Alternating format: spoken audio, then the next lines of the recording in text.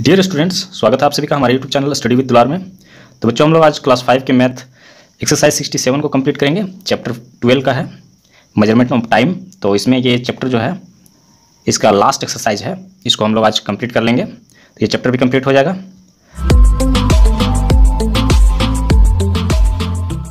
Question को solve करने से पहले हम लोग इसको सबसे पहले पढ़ेंगे और इसको समझेंगे, उसके बाद इसको सॉल्व करेंगे। क्वेश्चन नंबर वन में व्हाट टाइम विल बी क्या समय होगा? तो कितना बजे क्या समय होगा? यहाँ पे ए नंबर में दिया हुआ है two hours fifty minutes after nine ten A M तो अभी जो है नौ बजकर दस मिनट हो रहा है, सुबह का टाइम है। नौ बजकर दस मिनट हो रहा है और यहाँ पूछ रहा है कि दो घंटे पचास मिनट बाद कितना समय होगा? तो इसमें हम अगर इसको ऐड कर देते हैं तो कितना समय होगा वो हमको मिल जाएगा। तो यहाँ पे हम लोग ऐड करेंगे। तो ऐड करने के लिए यहाँ पे मैंने लिख कर रखा हुआ है।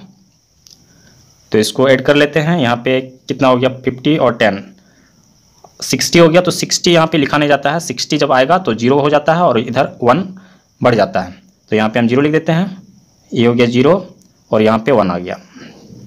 तो वन आ गया। अब यहाँ पे टेन हो गया और टू। ट्वेल्व हो गया। इसका मतलब है कि ये ट्वेल्व बच जाएगा। यहाँ पे ट्वेल्व हो गया।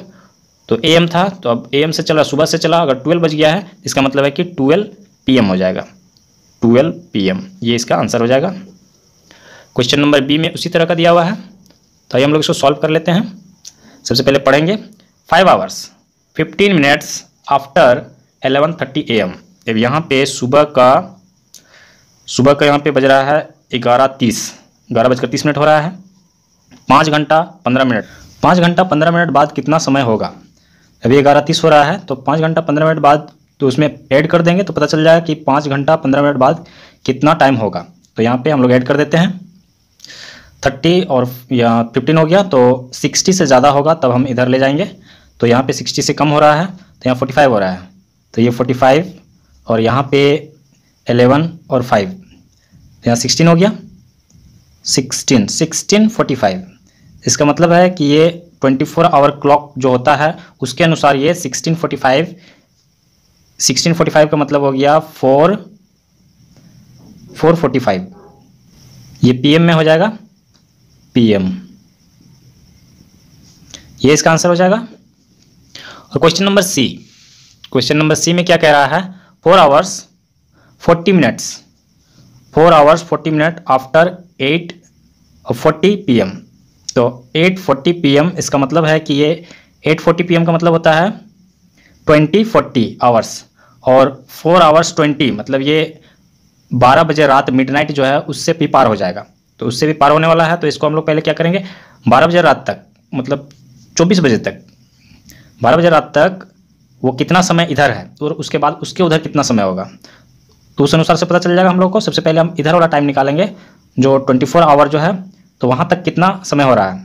तो यहाँ पे इसको हम कन्वर्ट कर लेते हैं ट्वेंटी फोर्टी में, और इसको ट्वेंटी फोर आवर से इसको माइनस कर देते हैं। तो यहाँ पे माइनस करने के लिए, यहाँ पे माइनस नहीं होगा तो यहाँ पे वन आवर ले लेते हैं, यहाँ पे हो गया सिक्सटी फोर्टी चला गया सिक्सटी में तो यहाँ पे ट्वेंटी हो गया। और यहाँ पे वन इधर चला गया, ट्वेंटी थ्री। ट्वेंटी थ्री में ट्वेंटी चला गया तो थ्री बच गया। तो इसका मतलब है कि थ्री आवर्स ट्वेंटी मिनट बारह बजे से पहले तक उतना हो गया, और उसके बाद कितना अधिक जो जाएगा तो फोर आवर्स फोर्टी मिनट है तो इतना इधर हो गया। और इसमें अगर हम माइनस कर देते हैं तो हमको पता चल जाए कि बारह बजे के बाद आगे कितना समय जाएगा। तो इसको इससे माइनस कर देते हैं। थ्री ट्वेंटी इसमें करेंगे माइनस तो ट्वेंटी, फोर्टी में से ट्वेंटी किया तो वन ट्वेंटी बच जाएगा, और यहाँ पे वन, फोर में से वन तो वन, इसका मतलब है कि वन ट्वेंटी ए एम इसका मतलब है कि एक बजकर बीस मिनट ए एम रात के एक बजकर बीस मिनट होगा। तो ये इसका आंसर हो जाएगा। क्वेश्चन नंबर वन यहाँ पे कंप्लीट हो जाता है। क्वेश्चन नंबर टू पे हम लोग आएँगे। यह क्वेश्चन नंबर टू और इसमें कह रहा है व्हाट टाइम वाज मतलब क्या समय था? तो इसमें माइनस करने के लिए यहाँ पे हम लोग को मिलेगा। क्वेश्चन नंबर ए में two hours ten minutes before twelve ten PM मतलब बारह बजकर दस मिनट हो रहा है और इससे दो घंटा दस मिनट पहले कितना टाइम हुआ था?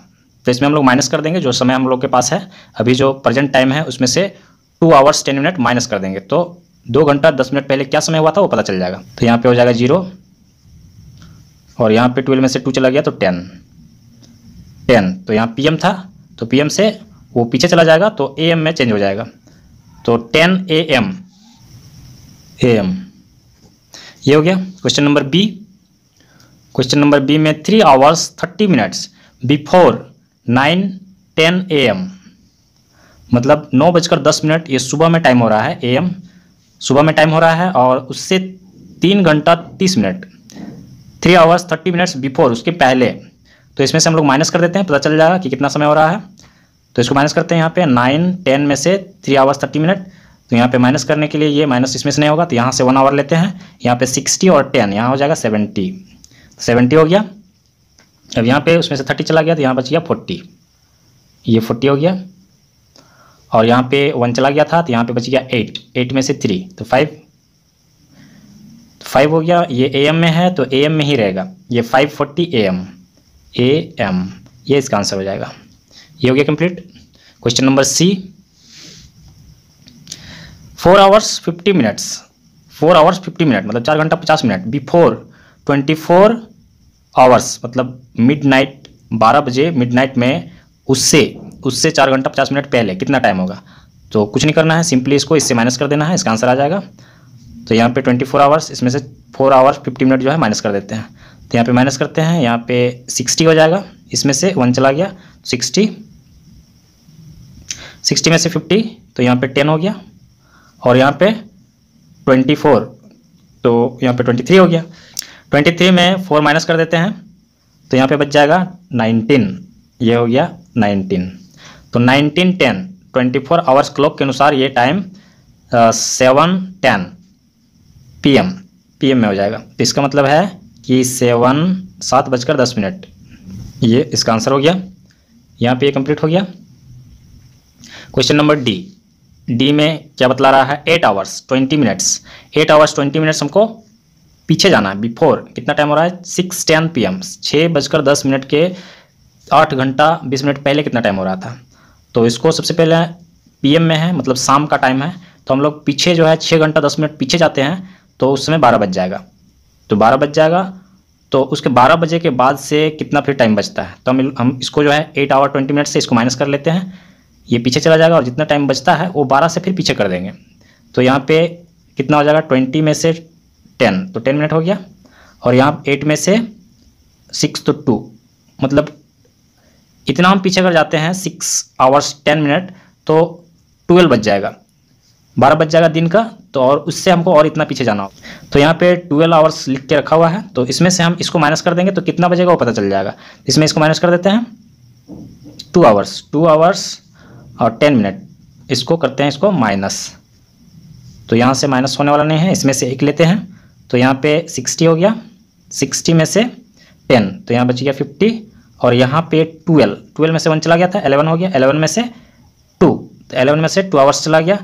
तो नाइन आवर्स हो गया, इतना मतलब नौ बजकर पचास मिनट होगा। नाइन फिफ्टी मिनट्स हो जाएगा तो ये बारह बजे तक पीएम और उससे पीछे चला गया तो एएम में आ जाएगा। ये एएम ये हो गया, ये इसका आंसर हो जाएगा। ये कंप्लीट हो गया। क्वेश्चन नंबर थ्री को हम लोग पढ़ेंगे, क्योंकि ये वर्ड प्रॉब्लम क्वेश्चन है। Jatin fell sick on March twelve twelve March को वो जो है, बीमार पड़ा Jatin he recovered from illness on April nine नौ अप्रैल को वो ठीक हो गया। How many days did he remain sick तो वो फिर कितने दिनों तक बीमार रहा?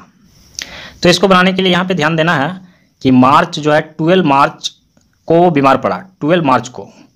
तो ट्वेल्व तक आ गया मतलब एलेवन मार्च तक वो बीमार नहीं था। तो इसमें ट्वेल्व से लेके आगे तक मतलब मार्च में से एलेवन डेज़ माइनस हो जाएगा, जितना बचेगा वो मार्च में उतना दिन बीमार रहा और अप्रैल में अप्रैल में नौ अप्रैल को वो ठीक हो गया। तो मतलब है कि एट अप्रैल तक वो बीमार रहा। तो इन दोनों मंथ में जो जो दिन आते हैं, उनको हम ऐड कर देंगे तो पता चल जाएगा कि वो कितना दिन बीमार रहा। तो फिर हम इसको सॉल्व करेंगे। सीक डेज़ बीमार रहने का दिन। तो मार्च में एलेवन डेज़ बीमार नहीं था। तो इसका मतलब है कि थर्टी वन डेज़ होता है मार्च में, थर्टी वन माइनस एलेवन तो इसमें से एलेवन माइनस कर देते हैं। तो इसमें से कितना हो गया? थर्टी वन में से एलेवन तो ट्वेंटी ट्वेंटी डेज़ वो बीमार रहा। उसके बाद सिक डेज़ ऑन अप्रैल तो सिक डेज़ ऑन अप्रैल तो अप्रैल में नौ अप्रैल को वो ठीक हो गया। तो इसका मतलब है कि एट डेज़ एट अप्रैल तक वो बीमार रहा। एट डेज़ इसको करेंगे हम लोग प्लस क्या होगा? Twenty eight days twenty eight days इसका मतलब है कि वो कंप्लीटली ट्वेंटी एट डेज़ बीमार रहा। तो ये आंसर हो जाएगा। हो गया? क्वेश्चन नंबर फोर में हम लोग चलते हैं। क्वेश्चन नंबर फोर में सबसे पहले हम लोग इसको पढ़ेंगे और समझेंगे। A school open on first April एक स्कूल है जो फ़र्स्ट अप्रैल को, एक अप्रैल को खुलती है आफ्टर द एग्जामिनेशन एंड परीक्षा के बाद। फाइनल एग्ज़ाम होता है, उसके बाद एक अप्रैल को खुलती है। और and close for summer vacation on fifth May, और वो जो है समर वेकेशन के लिए पाँच मई को वो बंद हो जाती है। How long did the school remain open तो फिर स्कूल इस दरमियान कितने दिनों तक खुली रही? तो उसी तरह से हम लोग देखेंगे कि अप्रैल में और मई में तो मई में कितना दिन खुला रहा, फिर अप्रैल में कितना दिन खुला रहा तो दोनों को जो हम लोग को डेज़ मिलेगा, उसको हम ऐड कर देंगे, पता चल जाए कितना दिन तक स्कूल खुली रही। तो सोल्यूशन इसको करते हैं हम लोग। Days of school opened. तो अप्रैल में, फ़र्स्ट अप्रैल को तो ओपन हो गया तो अप्रैल में थर्टी डेज़ होता है। इसका मतलब है कि पूरा अप्रैल वो ओपन रहा तो थर्टी डेज़ हो गया यहाँ पे। Thirty days thirty days. और यहाँ पे फिफ्थ मई को क्लोज हो गया। फिफ्थ मई को क्लोज हो गया, इसका मतलब है कि फोर, फोर्थ मई तक वो चालू रहा। तो days of school open on May. मई में फोर डेज़ रहा ओनली तो फोर डेज़ क्या करेंगे इसको? प्लस कर देंगे. तो टोटल स्कूल कितने दिनों तक तो खुली रही? तो यहाँ पे thirty four thirty four days तो ये इसका आंसर हो जाएगा. ये हो गया कंप्लीट क्वेश्चन नंबर फाइव इसको सॉल्व करेंगे. Ayush left for Canada left for Canada on third October Canada को वो छोड़ देता है। मतलब वहाँ से बाहर निकल जाता है। थर्ड अक्टूबर को मतलब थर्ड अक्टूबर को वो बाहर निकल जाता है। And came back on twenty eighth December, third October को निकलता है वो, और ट्वेंटी एट दिसंबर को वो वापस रिटर्न आ जाता है। How many days did he remain out of town तो फिर वो कितने दिनों तक शहर से बाहर रहा? सबसे पहले हम लोग अक्टूबर में थर्ड अक्टूबर को निकल जाता है, इसका मतलब है कि थर्ड अक्टूबर से ही लेना होगा। तो दो दिन वो अक्टूबर में दो दिन यहाँ पे रहा और फिर थर्ड अक्टूबर से वो बाहर चला गया। मतलब दो दिन माइनस हो जाएगा तो थर्टी वन में टू तो ट्वेंटी नाइन डेज़ जो है वो बाहर रहा। इसमें हो गया अक्टूबर नवंबर पूरा बाहर रहा और फिर दिसंबर में ट्वेंटी एट्थ मतलब ट्वेंटी सेवन दिसंबर तक वो फिर बाहर में ही था। एट्थ में आ गया तो ट्वेंटी सेवन तक बाहर ही था। इस तरह से एक एक मंथ का हम लोग इसको निकालेंगे, फिर पता चलेगा। तो इसको सॉल्व करते हैं। तो अक्टूबर में वो थर्टी वन डेज़ में से टू डेज़ वो कनाडा में था। थर्टी वन माइनस टू इसका मतलब है कि वो ट्वेंटी नाइन डेज़ बाहर रहा। ट्वेंटी नाइन डेज़ बाहर रहा। उसके बाद अक्टूबर, नवंबर। नवंबर कंप्लीटली वो। नवंबर कंप्लीटली वो बाहर रहा। तो नवंबर में थर्टी डेज़ होता है। तो इसका मतलब है कि वो थर्टी डेज़ बाहर रहा। उसके बाद दिसंबर में ट्वेंटी एट्थ को वो वापस आ गया। मतलब ट्वेंटी सेवन दिसंबर तक वो बाहर रहा। तो days of out from town on December. December equal to twenty seven twenty seven ये डेज़ हो गया। और यहाँ पे भी डेज़ हो जाएगा। इसको करेंगे हम लोग एड एटी सिक्स डेज़ वो कंप्लीटली शहर से बाहर रहा। ये हो गया कंप्लीट ये इसका आंसर हो जाएगा। क्वेश्चन नंबर सिक्स अब इसको हम लोग यहाँ पे सॉल्व करेंगे। Karuna took twenty five days leave from office Karuna एक ऑफ़िस में काम करती है और वहाँ से वो ट्वेंटी फाइव डेज़ के लिए छुट्टी लेती है। When did she join the office if her leave started from eighteenth January तो अगर उसकी छुट्टी जो है एटीनथ जनवरी से चल रहा है तो फिर वो कब ज्वाइन करेगी? तो जनवरी में हम लोग, पहले जनवरी में कितना दिन होता है वो ले लेते हैं। उसके बाद फरवरी में कितना दिन जाएगा, ये पता करेंगे। तो इसको सॉल्व करते हैं। तो thirty one Jan thirty one January में थर्टी वन डेज़ होता है तो इसमें से सेवनटीन डेज़ वो काम की तो फिर कितने दिन लीव उसको मिला? इसको माइनस कर देंगे फोर्टीन तो फोर्टीन डेज़ उसको यहाँ पे लीव मिल गया, जनवरी में। और फरवरी में तो इसमें और कितना दिन इसमें लीव बचा? तो कितना बच गया? एलेवन हो गया। एलेवन डेज़ एलेवन डेज़ उसका छुट्टी बचा हुआ है तो एलेवन डेज़ फरवरी में चला जाएगा। एलेवन डेज़ फरवरी में चला जाएगा तो लिविंग डेज़ फरवरी में लिविंग डेज़ हो जाएगा एलेवन डेज़ तो एलेवन डेज़ एलेवन फरवरी तक ही होगा।